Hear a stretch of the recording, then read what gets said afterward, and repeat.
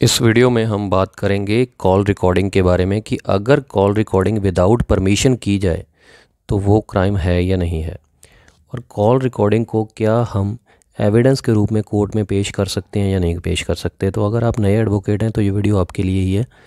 देखिए, जो call recording है, अगर विदाउट परमिशन आप किसी की कॉल रिकॉर्ड करते हैं तो हायर कोर्ट्स ने भी ये माना है कि कहीं ना कहीं ये उसकी राइट टू प्राइवेसी का वायलेशन है।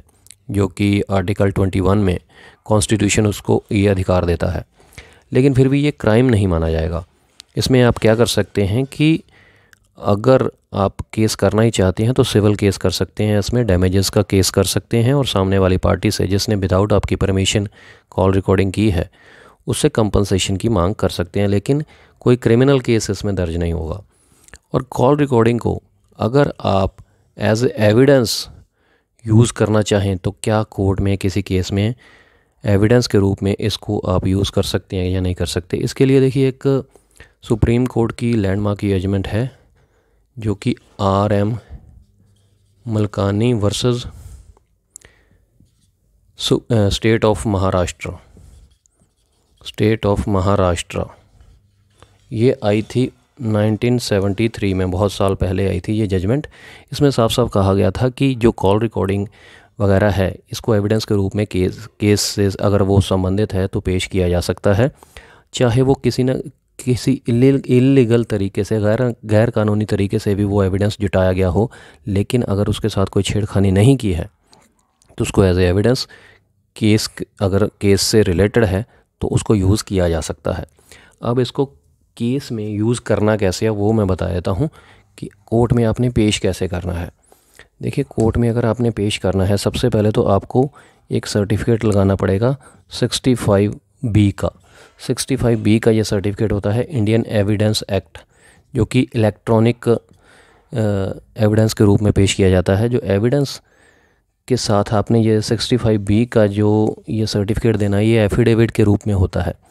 इस एफिडेविट में जिसका वो सोर्स होता है, जो सोर्स का मालिक होता है, जैसे किसी के मोबाइल से अगर रिकॉर्डिंग की गई है तो जो मोबाइल का मालिक है, उसकी तरफ़ से ये एफिडेविट होता है कि मैं इस डिवाइस का मालिक हूँ मालिक हूँ और मैं, ये मेरे पोजेशन में था, ये जो डिवाइस है, जब ये रिकॉर्डिंग की गई और इसके साथ कोई छेड़खानी नहीं की गई है और ये बिल्कुल दुरुस्त है करेक्ट है।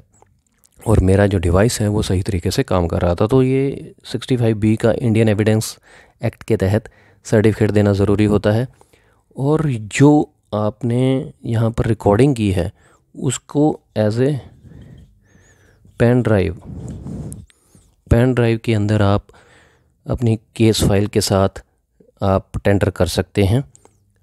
पेन ड्राइव के रूप में वो डॉक्यूमेंट आप जो है, जो रिकॉर्डिंग है वो कोर्ट में पेश कर सकते हैं। साथ में आपको उस रिकॉर्डिंग की ट्रांसक्रिप्ट कॉपी भी जमा करवानी पड़ेगी सबमिट करवानी पड़ेगी। ट्रांसक्रिप्ट कॉपी में क्या होता है कि जो जो बातें रिकॉर्ड की गई होती हैं, उनको लिखित में रिटर्न में एक एक बात को लिखना होता है आपने, ताकि ट्रांसक्रिप्ट कॉपी हो जाए साथ में और साथ में 65 बी का इंडियन एविडेंस एक्ट का एक सर्टिफिकेट लग जाए और पेन ड्राइव में आपकी जो रिकॉर्डिंग है, वो सबमिट हो जाती है। तो इस तरीके से आप एज ए एविडेंस जो कॉल रिकॉर्डिंग है उसको पेश कर सकते हैं कोर्ट के अंदर। तो आपकी ये बात क्लियर हो गई कि अगर आपने विदाउट परमिशन किसी की कॉल रिकॉर्ड की है तो ये क्राइम तो बिल्कुल भी नहीं है, लेकिन कहीं ना कहीं कुछ ना कुछ गलत ज़रूर माना जाता है तो सिविल केस लगा के सामने वाली पार्टी कंपनसेशन की मांग कर सकती है। और कॉल रिकॉर्डिंग को एज ए एविडेंस आप कोर्ट में यूज़ कर सकते हैं, चाहे किसी भी तरीके से आपने कॉल रिकॉर्डिंग की गई हो, लेकिन अगर उसके साथ कोई छेड़खानी नहीं की है तो आपने साथ में 65 बी का सर्टिफिकेट लगाना है, उसको पेन ड्राइव के रूप में आप पेश कर सकते हैं। या फिर देखिए, जो एविडेंस होता है वो दो तरीके का होता है। एक प्राइमरी एविडेंस, एक secondary evidence. Primary primary evidence में क्या होता है कि जो प्राइमरी सोर्स होता है, अगर उसी को आप सबमिट करवाना चाहें, जैसे मोबाइल से आपने रिकॉर्डिंग की है, अगर मोबाइल को ही आप सबमिट करवाना चाहें, करवा सकते हैं, लेकिन केस कई सालों तक चलता है तो मोबाइल सबमिट करवाना बहुत मुश्किल काम हो जाता है। तो सेकेंडरी एविडेंस के रूप में आप पेन ड्राइव में वो रिकॉर्डिंग दे सकते हैं और साथ में ट्रांसक्रिप्ट कॉपी देनी पड़ेगी आपको। तो इस तरीके से हम सबमिट करवा सकते हैं। तो उम्मीद करता हूँ क्लियर हो गया होगा। सिंपल तरीके से समझाने की कोशिश की है मैंने। अगर फिर भी कोई कन्फ्यूज़न रह गई हो तो कमेंट बॉक्स में कमेंट करके आप पूछ सकते हैं डिस्कस कर सकते हैं। नेक्स्ट वीडियो में ऐसे ही बात करेंगे किसी और जुडिशियल पॉइंट के ऊपर। तो इस चैनल को सब्सक्राइब कर लीजिएगा। वीडियो थोड़ी सी भी अच्छी की लगी तो कमेंट करके ज़रूर बताइएगा, लाइक ज़रूर कर दीजिएगा, ताकि ज़्यादा से ज़्यादा लोगों तक पहुँच सके ये वीडियो। शुक्रिया, धन्यवाद।